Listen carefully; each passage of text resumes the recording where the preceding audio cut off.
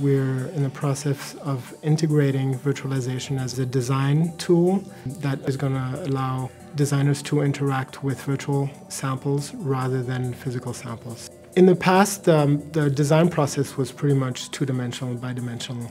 Uh, we'd start out with a sketch either on paper or on Photoshop with a tablet. Um, we would then create a, a, drawing, which we call a tech pack, which we'd send to the factories, um, wait maybe two to three weeks to get a sample back, review the sample, validate it or not, send another tech pack, and then wait another two, three weeks. This could go on three, four times until we, we get the, the product that we, we're actually happy with. Now, with the, uh, with the new process, uh, we're able to make a lot of design, design decisions on the spot. We don't have to wait two, three weeks. We make better design decisions and we make them faster. The equipment we currently use involves the NVIDIA Quadro 4000 cards. We've used this, uh, this new setup um, to mainly interact with one shoe um, and to have real-time visualization of, of a single product, which, which has been great.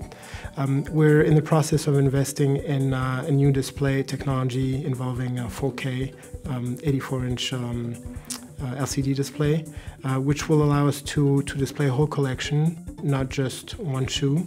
We're planning on using that for line reviews, which involves larger teams of sales force and salespeople to review the, the product. So in that regard, using the, the, a new card like the K6000 is, is almost a must.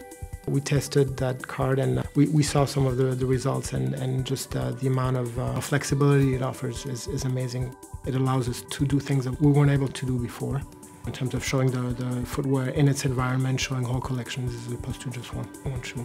Besides the savings, the obvious savings in, in development costs and productivity and, uh, and transport cost, the, the new uh, graphics technologies have really enabled designers to, um, to focus on the product and focus on the design rather than focus on the, the process and the technology behind it.